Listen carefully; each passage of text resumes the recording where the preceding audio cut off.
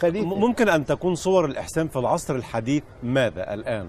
هل أن يعطي الغني الفقير فقط كما لا، قال لا، لا، لله يا أول- محسنين؟ أول درجة لا أول درجة من درجات الإحسان أن يكف بعضنا ألسنتهم عن أعراض الناس تمام وأن يتوقفوا عن التشهير بسمعة الناس م.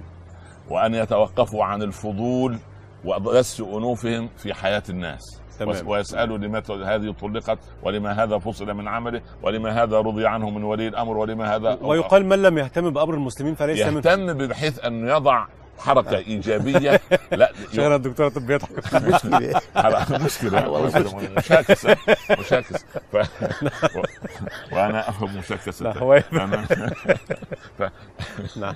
يعني يعني بعد أن يكف جوارحه عن الإيذاء للناس هذا أول درجة من درجات الإحسان. م. فيتعلم بعد ذلك أن يشرح صدره له وأن يتحمل ويتقبل من محسنهم ويتجاوز عن مسيئهم ويعفو عن جاهلهم ويعطي يعني بهذا المنطق يكون في دائرة الإحسان. فيتعود أنه محسن ويوصف بالإحسان عند الناس. وأنتم يعني مرت جنازة فخ يعني أثنى الناس عليها خيرا.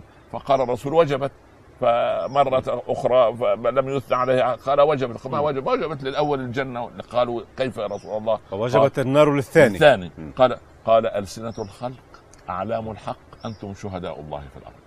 ونعم بالله. إن صح آه. أن نقول هناك إحسان سلبي هذا الذي تفضل به أستاذنا قبل قليل. وهو؟ كف كف لسانه كف آه. عمله كف شهوته. هذا إحسان سلبي. نعم. وإحسان لكن هو والإحسان منه سلبي في وإيجابي منه إيجابي. طبعاً. العطاء إحسان. آه. وكف الأذى إحسان. م. لكنه إحسان إيجابي الآن والله يا نعم، شيخنا. نعم. أصبح كف إحسان. معذرة في المثل. العام. آه. يقول يا نحلة لا تغرصيني ولا عايز عسلك يعني في ناس كده يعني لا- لا دي لا لا, لا, كفافا. لا علينا ولا لنا. شكرا لكم على هذا